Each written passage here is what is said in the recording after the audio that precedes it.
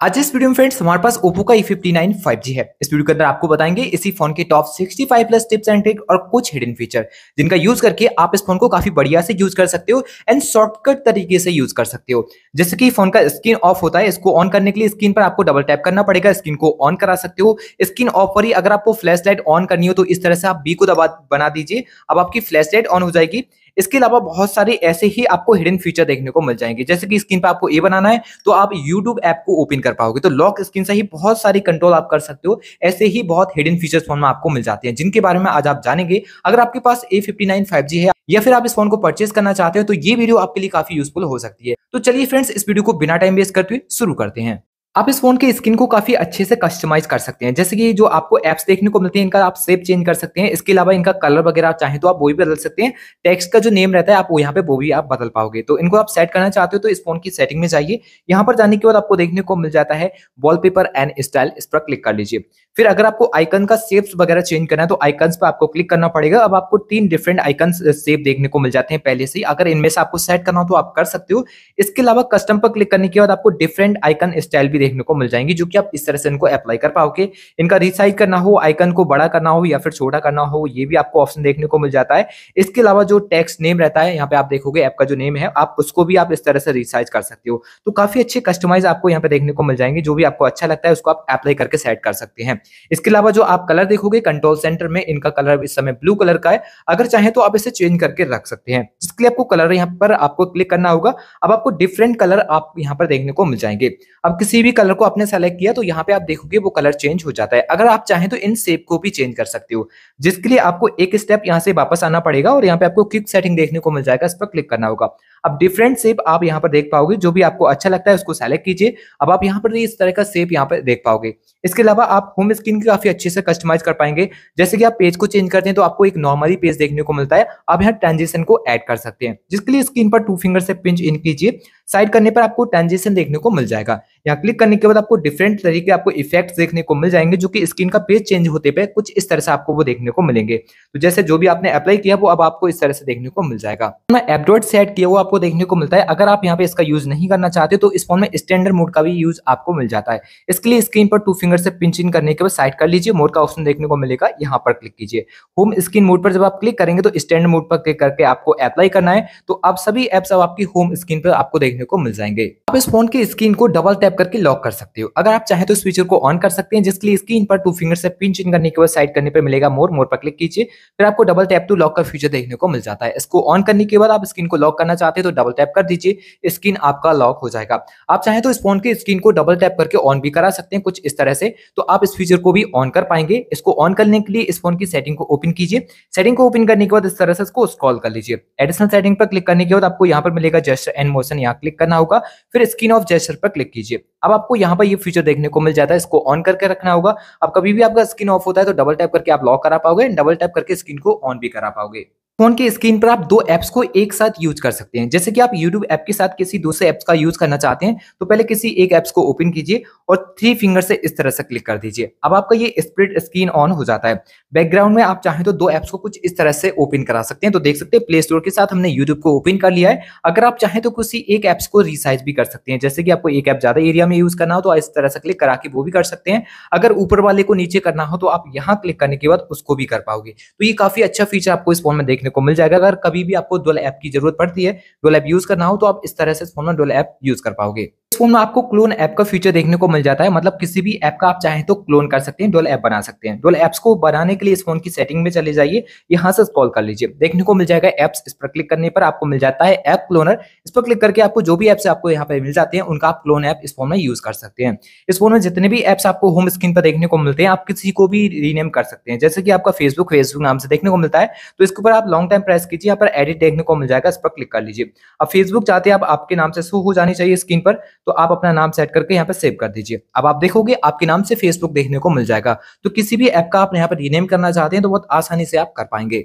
इस फ़ोन में आपको स्मार्ट साइड बार देखने को मिलता है, जिसमें आप अपने फेवरेट एप्स डाल सकते हैं एंड फ्लोटिंग विंडो में उन एप्सों को यूज़ कर सकते हैं। जैसे कि आप किसी एप्स के अंदर है और वहाँ पे वो ऐप आपको यूज़ करना है तो फ्लोटिंग विंडो की मदद से आप बहुत आसानी से उसका यूज़ कर सकते हैं।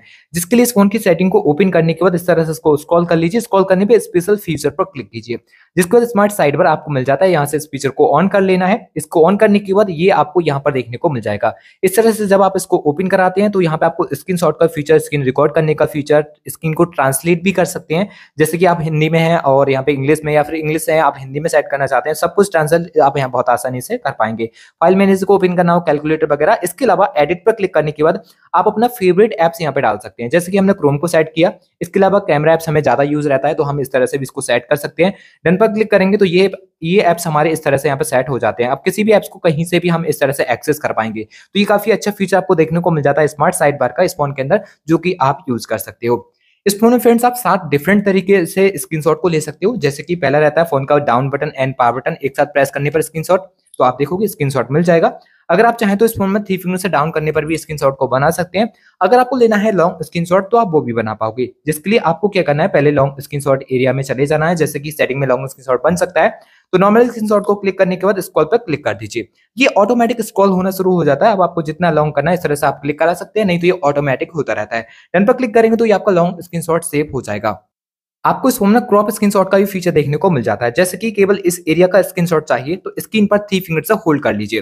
अब जिस एरिया का स्क्रीनशॉट चाहते हैं, अब आप अपने इस तरह से सेलेक्ट कर लीजिए, जो भी आपको जिस एरिया का स्क्रीनशॉट चाहिए। इसके अलावा आपको एडिट ऑप्शन देखने को मिल जाते हैं, जैसे कि स्क्रीनशॉट में किसी चीज़ को आपको ब्लर करना हो तो आप इस तरह से वो भी कर सकते हैं। बहुत आसानी से आपको ये एडिट ऑप्शन मिल जाएँगे, यहीं पर आप बहुत आसानी से इनको कर पाएँगे। तो काफ़ी डिफरेंट फीचर मिल जाते हैं, आप यहाँ से इस तरह से करके इनका यूज़ कर सकते हैं। इसके अलावा इस फ़ोन में आप सर्कल टाइप स्क्रीन भी बना सकते हो, जिसके लिए स्क्रीन पर आपको थ्री फिंगर से होल्ड करना होगा। विजुअली ऑप्शन को क्लिक करने के बाद आप गोल टाइप स्क्रीन कुछ इस तरह से बना सकते हो। इसके अलावा आप चाहिए इस फ़ोन में आपको अपने हिसाब से स्क्रीन तो थ्री फिंगर से फिर से होल्ड कीजिए। अब आपको ये ऑप्शन सेलेक्ट कर लेना होगा। अब जिस एरिया का स्क्रीनशॉट चाहते हो आप अपनी फिंगर से इस तरह से सेलेक्ट कर लीजिए। तो कुछ इस तरह से भी स्क्रीनशॉट आपको मिल जाएगा। इस फ़ोन का जो कंट्रोल सेंटर आपको देखने को मिलता है, यहाँ पर जब आप इसको ओपन करते हैं तो यहाँ पर भी आपको स्क्रीनशॉट मिल जाएगा। यहाँ क्लिक करके भी इस फ़ोन में स्क्रीनशॉट आप बना पाओगे। इस फ़ोन में गूगल का डायलर देखने को मिलता है तो कॉल को रिकॉर्ड होते समय आपको कॉल अनाउंसमेंट सुनाई देता है। तो आप चाहें तो उसको बंद भी करके रख सकते हैं। तो आप चाहें तो इस फ़ोन में गूगल डायलर को हटा के डाउनलोड कर सकते हैं ओ डायलर क्योंकि ओ डायलर ओप्पो के फ़ोन में आप इंस्टॉल करके बहुत आसानी से उसका यूज़ कर पाएँगे। अगर इसी डायलर से कॉल को रिकॉर्ड करना चाहते हैं तो डायलर को ओपन करने के बाद सेटिंग आइकन पर क्लिक कीजिए। कॉल रिकॉर्डिंग के फीचर देखने को मिल जाएगा। यहाँ क्लिक करके इसको ऑन कर दीजिए। सभी नंबर की ऑटो कॉल रिकॉर्ड ऑन हो जाएगी। इस फ़ोन में कॉल रिकॉर्डिंग का भी सपोर्ट मिल जाता है। अगर आपको इस फ़ोन में स्क्रीन रिकॉर्ड करना तो बाई डिफ़ॉल्ट ये भी फीचर देखने को मिल जाएगा एंड दोनों ही ऑडियो एक साथ रिकॉर्ड कर सकते हो। तो इसके लिए फ़ोन के कंट्रोल सेंटर को ओपन करने के बाद थ्री डॉट पर जाइए। एडिट टाइटल पर क्लिक करना होगा। यहाँ पर आपको देखने को मिल जाता है स्क्रीन रिकॉर्डर तो इसको आप ऊपर की साइड में पहले ऐड कर सकते हैं। अब स्क्रीन के रिकॉर्ड की सेटिंग करने के लिए या फिर स्क्रीन को रिकॉर्ड करने के लिए इसके ऊपर आप लॉन्ग टाइम प्रेस कर लीजिए। स्क्रीन रिकॉर्डिंग आप यहाँ से बहुत आसानी से कर पाओगे, जैसे कि साउंड आपको रिकॉर्ड करना हो एक साथ। डेफिनेशन को आपको सेट करना हो, वो सब आप बहुत आसानी से यहाँ से कर सकते हो। स्क्रीन को रिकॉर्ड करने के लिए यहीं से आप क्लिक करके स्क्रीन को भी रिकॉर्ड करा पाओगे। बाई डिफ़ॉल्ट फीचर भी इस फ़ोन में मिल जाता है।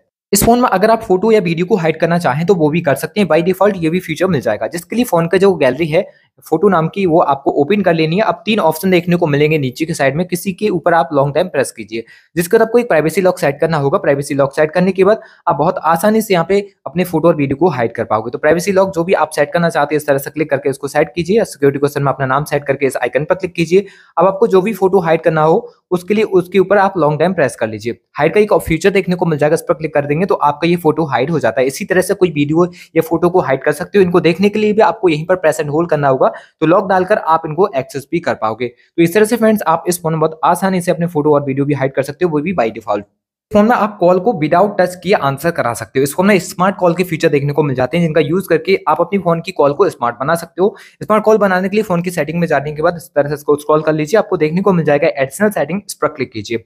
जैसे एंड मोशन देखने को मिलता है, इस पर क्लिक करेंगे तो आपको कुछ अलग नीचे की तरफ़ फीचर देखने को मिल जाएँगे। पहले फीचर रहता है आपका live to ear to answer call का। इस फीचर को ऑन करने पर क्या होगा? आपके फ़ोन पर कोई भी कॉल्स वगैरह आता है, उसको आंसर करने के लिए क्या करना है? रिंग होते हुए फ़ोन को कान की ओर ले जाना है। ऑटोमेटिक वो कॉल आपके यहाँ पे आंसर हो जाएगी। यहाँ पर आपको दूसरा फीचर देखने को मिलता है auto switch to ear receive का। अगर आप इस फीचर को ऑन कर देते हैं तो आपकी किसी नंबर से हैंड फ्री पर बात हो रही है और हैंड फ्री से बात होते होते आप अपने फ़ोन को कान की ओर ले गए तो हैंड फ्री स्पीकर आपका ऑटोमेटिक बंद हो जाएगा। कान वाला रिसीवर में ऑटोमेटिक आवाज़ आना शुरू हो जाता है। तो इस तरह से आप इस फीचर को यहाँ से यूज़ कर सकते हैं। थर्ड नंबर पर आपको मिल जाता है flip to mute incoming call का फीचर इसको ऑन करने पर क्या होगा? आपके फ़ोन पर कोई भी कॉल वगैरह आता है, आप उसको म्यूट करना चाहते हैं तो फ़ोन को फ्लिप कर दीजिए या फिर फ्लिप करके रख दीजिए या फिर आपके फ़ोन पर फ्लिप कवर यूज़ है तो आप उसको फ्लिप करके यहाँ पे लॉक करा सकते हैं। इस फ़ोन में आपको राइस टू बेक का फीचर देखने को मिल जाता है, जो कि आप यहाँ पर देख सकते हो। इसको ऑन करने पर क्या होगा? आपका फ़ोन स्क्रीन ऑफ़ होगा। कुछ इस तरह से फ़ोन कुछ इस तरह से टेबल पर रखा होगा।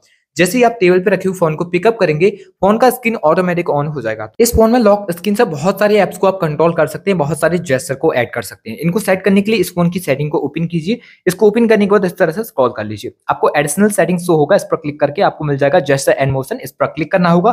फिर आप यहाँ पर देख सकते हो स्क्रीन ऑफ़ जेस्टर के लिए। यहाँ क्लिक कर देंगे तो आपको मिल जाएगा म्यूज़िक कंट्रोल का फीचर अगर आप इसको ऑन कर देते हैं तो लॉक स्क्रीन से ही आप म्यूज़िक को कंट्रोल कर पाओगे। अगर गाने को प्ले करना है लॉक स्क्रीन से ही तो स्क्रीन ऑफ़ पर आपको टू फिंगर से डाउन करने होंगे, आपका गाना प्ले हो जाएगा। गाने को आप लॉक स्क्रीन से ही नेक्स्ट कर सकते हो, जिसके लिए आपको इस तरह से क्लिक करना होगा। आपको स्क्रीन पर कुछ इस तरह से क्लिक करना होगा गाना आपको नेक्स्ट हो जाएगा और गाने को पीछे करना हो तो आप इस तरह से क्लिक करा के गाने पीछे वाले को चला सकते हैं। इसके अलावा आप लॉक स्क्रीन पे ही कैमरा एप्स को ओपन कर पाएँगे, जो कि यहीं पर आपको फीचर देखने को मिल जाता है। जिसके लिए आपको यहाँ पर देखने को मिल जाता है bro an O to open camera इस वाले फीचर को ऑन करके रखिए, आप लॉक स्क्रीन पर ओ बनाना है आपको, आपके फ़ोन का कैमरा एप्स ओपन हो जाता है। अगर आप चाहते हो फ्लैश लाइट भी आपके लॉक स्क्रीन पे ही आप कंट्रोल कर पाए तो यहाँ पर आपको वो भी फीचर देखने को मिल जाएगा। तो इस फीचर को ऑन करने के बाद आप लॉक स्क्रीन पर ही अपनी स्क्रीन पर इस तरह से वी को बना दीजिए फ्लैश लाइट ऑन हो जाएगी। इसके अलावा आपको कुछ और भी फीचर मिल जाएँगे, जैसे कि आपको यहाँ पर यूरू ऐप ओपन कराना हो लॉक स्क्रीन से ही। तो ड्रो एक फीचर देखने को मिल जाएगा, यहाँ पर क्लिक करना है। तीन डिफरेंट फीचर मिलते हैं, जैसे कि अनलॉक कॉल और ओपन एप्स के। अगर आप अनलॉक पर क्लिक कर देंगे तो स्क्रीन अनलॉक हो जाएगी। अगर कॉल को सेलेक्ट करेंगे तो किसी नंबर को आपने सेलेक्ट किया तो उसको डायरेक्ट कॉल लग जाया करेगी। इसके अलावा अगर ओपन एप्स पर जब आप क्लिक करते हैं तो फ़ोन के सभी एप्स आपको देखने को मिल जाएँगे। इनमें से किस एप्स को आप ओपन करना चाहते हैं ए बनाने पर, वो आप सेलेक्ट कर सकते हैं। जैसे कि हमने क्रोम को सेलेक्ट किया। अब लॉक स्क्रीन पर जब हम ए बनाएँगे तो हमारा क्रोम ऐप ओपन हो जाएगा। कुछ और भी फीचर मिल जाएँगे, जैसे कि दो ए से भी आप सेट कर सकते हैं एंड एम से कर सकते हैं डब्ल्यू से कर सकते हैं। तो तीनों ही फीचर आपको मिल जाते हैं, जिससे आप जिसको लगाना चाहते हैं, वो आप यहाँ पर आके सेट सकेंगे। फ़ोन के जब पावर बटन को प्रेस एंड होल्ड करते हैं तो यहाँ पर आपका गूगल असिस्टेंट ऑन हो जाता है। ये कुछ इस तरह से आपको देखने को मिलेगा। अगर आप चाहें तो इसे डिसेबल करके रख सकते हैं। इस फ़ोन में लगा सकते हैं डायरेक्ट पावर बटन से पावर मेन्यू के लिए। अभी आप इस फ़ोन को स्विच ऑफ़ करेंगे तो फ़ोन का up button and power button आपको एक साथ दबाने पर ये ऑप्शन देखने को मिलते हैं। अगर आप इसको रिप्लेस करना चाहते हैं तो इस फ़ोन की सेटिंग में जाइए। यहाँ से इसको स्क्रॉल कर लीजिए। एडिशनल सेटिंग पर क्लिक करने के बाद आपको देखने को मिल जाता है पावर बटन का ऑप्शन इस पर क्लिक करना होगा और यहाँ पर क्लिक करने के बाद इस वाले फीचर को क्लिक करके रखिए। आप पावर बटन को प्रेस एंड होल्ड करने पर आप यहाँ पे अपने पावर मेन्यू के लिए देख पाएँगे। इस फ़ोन में आपको थ्री बटन नेविगेशन देखने को मिलते हैं। आप चाहें तो इन्हें हटा सकते हैं, लगा सकते हैं फ़ोन में जैसा नेविगेशन दोनों की सपोर्ट देखने को मिल जाएगा। इसके अलावा जेस्टर का अगर आप यूज़ करते हैं तो काफ़ी डिफरेंट फीचर इस फ़ोन में आपको देखने को मिलेगा। तो उसको ऑन करने के लिए इस फ़ोन की सेटिंग को ओपन कीजिए। यहाँ से स्कॉल करने के बाद एडिशनल सेटिंग पर क्लिक करके सिस्टम नेविगेशन पर क्लिक कीजिए।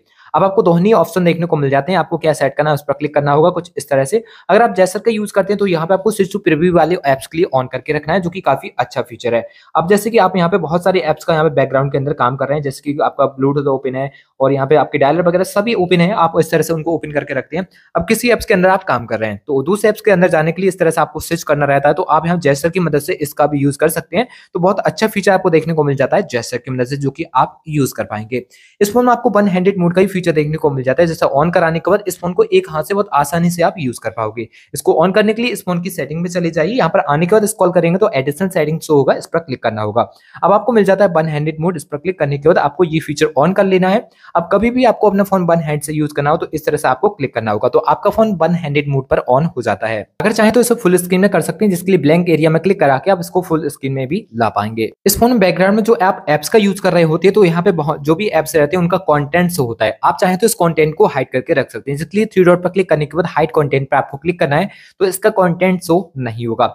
इसके अलावा आप जो भी बैकग्राउंड में एप्स का यूज़ कर रहे हैं, और उनमें से किसी भी एप्स को आप यहाँ पे फ्लोटिंग विंडो में यूज़ करना चाहते हैं तो इस तरह से रिसेंट बटन को प्रेस कीजिए कुछ इस तरह से। फिर आपको उसके ही ऊपर इस तरह से क्लिक करना होगा या थ्री डॉट पर। जिसके बाद आपको मिल जाएगा फ्लोटिंग विंडो इस पर आपको क्लिक करना रहेगा। तो ये आपका एप्स कुछ इस तरह से ओपन हो जाता है। अब बैकग्राउंड में आप किसी भी दूसरे एप्स का यूज़ कर पाओगे। तो यहाँ पे किसी भी डबल ऐप का यूज़ करना हो आपको तो इस तरह से कर सकते हो। आपका सभी जगह आप काम करते रहेंगे, ये एप्स आपका ओपन रहेगा। इसको आप इस यहाँ पर क्लिक करके रिसाइज कर सकते हो। अगर चाहे तो आप इसे पॉपअप में भी डाल सकते हो, जिसके लिए आपको इस तरह से क्लिक करना होगा तो ये पॉपअप में भी चला जाता है। तो कभी भी आपको फ्लोटिंग विंडो यूज़ करना हो तो कर सकते हैं। अगर आप इसको क्लोज करना चाहते हैं तो इस तरह से आप इसको ओपन ओपन कराइए ओपन कराने के बाद इस लाइट के आइकन पर क्लिक करा के आप इसको क्लोज कर पाएँगे। इस फ़ोन में ओटीजी का भी सपोर्ट देखने को मिल जाता है। अगर ओटीजी यूज़ करना चाहते हैं इस फ़ोन का तो पहले तो जाना होगा फ़ोन की सेटिंग में, जिसे ऑन करने के बाद इस फ़ोन में आप ओटीजी का यूज़ कर पाओगे। तो इसको ऑन करने के लिए इस फ़ोन की सेटिंग में जाने के बाद स्क्रॉल करने पर मिलेगा एडिशनल सेटिंग इस पर क्लिक कीजिए। देन आपको यहाँ पर देखने को मिल जाता है ओटीजी कनेक्शन इसको ऑन कर दीजिए। ये दस मिनट तक आपका काम करेगा। अगर दस मिनट तक ओटीजी आप यूज़ नहीं करते हैं तो ऑटोमेटिक ये डिसेबल भी हो जाता है। इस फ़ोन के कैमरे के अंदर भी कुछ सेटिंग आपको देखने को मिल जाती है, जिन्हें आप बहुत आसानी से करके रख सकते हो। जैसे कि आपको पाम से फ़ोटो क्लिक करना हो तो बहुत आसानी से कर सकते हो। जिसके लिए फ़ोन के कैमरा एप्स को ओपन करने के बाद थ्री डॉट पर क्लिक कीजिए, या आपको सेटिंग आइकन शो हो जाएगा, इस पर क्लिक करना होगा। इस पर क्लिक करने के बाद आपको यहाँ पर देखने को मिल जाता है शूटिंग मेथड का ऑप्शन इस पर क्लिक करना होगा और यहाँ पर आपको सो कैप्चर का फीचर देखने को मिल जाएगा। टैप टू कैप्चर को आप यहाँ पर क्लिक कर सकते हैं तो स्क्रीन पर टाइप करके फ़ोटो क्लिक कर पाएँगे। सो पाम के लिए ऑन कर देंगे तो अब आप इसको पाम दिखा दीजिए तो आपका यहाँ पे फ़ोटो क्लिक हो जाता है। तो ये काफ़ी डिफरेंट फीचर्स फ़ोन में आपको देखने को मिल जाएँगे जिनका आप यूज़ कर सकते हैं। आशा करते हैं फ्रेंड्स आपको ये वाला वीडियो काफ़ी अच्छा लगा होगा। वीडियो चला हो तो वीडियो को लाइक शेयर चैनल को सब्सक्राइब करके बेल प्रेस करना ना भूलें। तो चलिए फ्रेंड्स मिलते हैं एक और नई वीडियो के साथ।